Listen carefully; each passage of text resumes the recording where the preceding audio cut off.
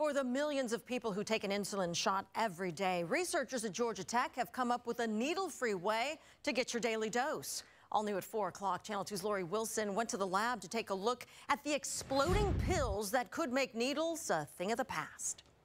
You might think of it kind of like Pop Rocks, but Pop Rocks in your intestine, not in your mouth. In his lab at Georgia Tech, Dr. Mark Prausnitz is leading research on a new way to deliver insulin to the body.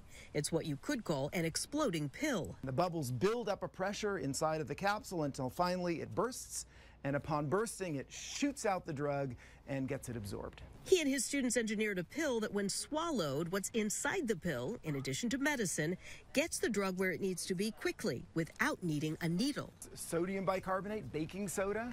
So it's the very same thing as an Alka-Seltzer, except uh, it, it's happening in your intestine. Prausnitz says the pill has been tested successfully on rats, and when the lab gets the funding, hopefully in the next two to three years, the pill will be tested on humans. He says because the pill is cheaper to make and easier to take than the injectable form of insulin, it should mean more people are taking their medicine like they should. If we can make it easier for people to take a medicine, it's more likely that they'll get access and do it. Lori Wilson, Channel 2, Action News. Amazing. So the researcher says that he hopes this type of pressurized pill will one day also be used to deliver other drugs like perhaps Ozempic, maybe vaccines, growth hormones, and even fertility drugs.